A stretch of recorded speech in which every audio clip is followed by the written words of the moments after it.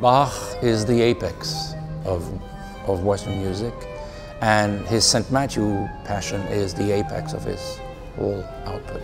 This is like some kind of magical dance of planets evolving in some kind of exceptional choreography.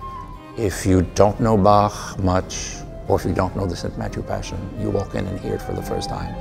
There will be so many layers of the piece that will talk to you. If you know the piece already, if you're familiar with this music, then you can get extra layers. Come and hear the magnificent St. Matthew Passion at Carnegie Hall on April the 7th.